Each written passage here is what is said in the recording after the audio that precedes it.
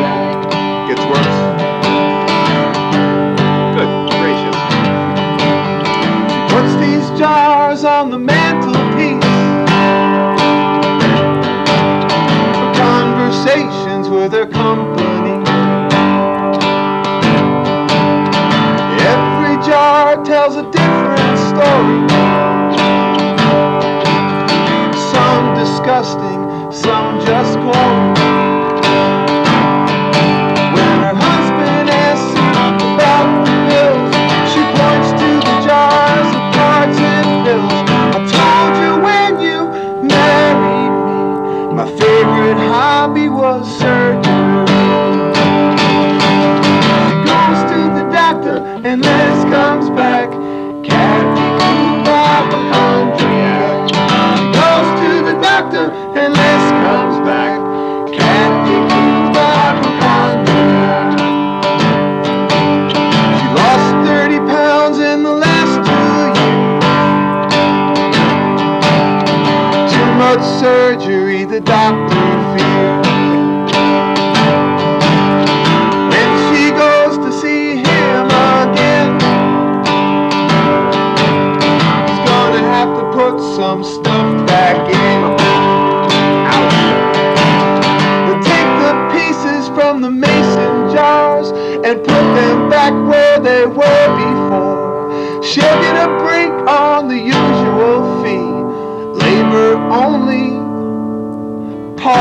are free.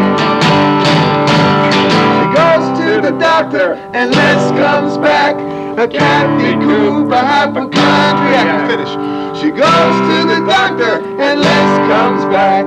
Kathy Cooper hypochondriac.